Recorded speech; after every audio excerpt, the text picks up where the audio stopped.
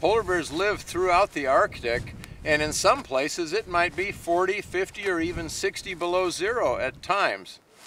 But typically the conditions that we experience when we're out in the field are more like 20 to 30 below.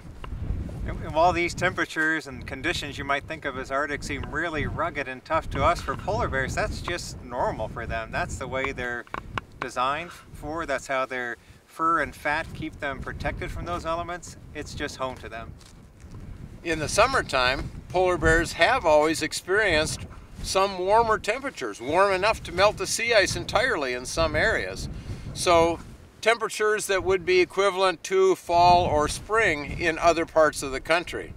But the important thing is that if too much heat comes around, if it gets to be too warm, that melts their sea ice habitat, and that's what's really a problem for them.